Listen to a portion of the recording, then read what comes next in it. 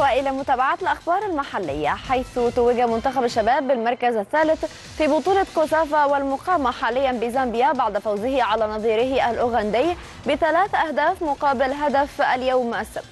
وأكد حمادة صدقي المدير الفني للمنتخب أن هناك العديد من المكاسب خلال دورة كوسافا منها تعود اللاعبين على الأجواء الأفريقية الصعبة ومواجهة منتخبات أكبر منهم سنا خاصة وأننا الفريق الأصغر المشارك في البطولة.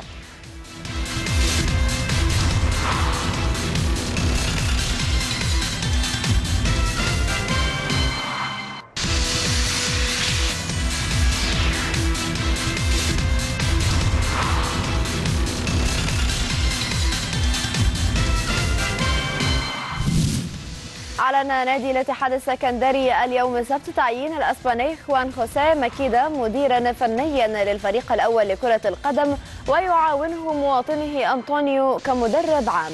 وتم الاتفاق على جميع بنود التعاقد مع المدرب الفني بحضور رئيس النادي محمد مصلحي وبعض أعضاء مجلس الإدارة ووكيل المدير الفني محمد عبد الجابر. ومن المقرر أن يقود ماكيدا تدريبات الفريق اعتبارا من غد الأحد عقب اعتماد تشكيل الجهاز الفني والإداري الجديد.